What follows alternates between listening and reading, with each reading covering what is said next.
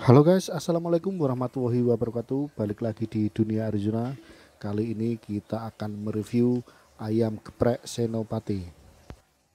Ya, kebetulan penjual ayam gepreknya ini dekat dengan rumah dan kita main ke sana untuk melihat proses pembuatan ayam geprek. Oke teman-teman, kita lihat proses pembuatan ayam gepreknya.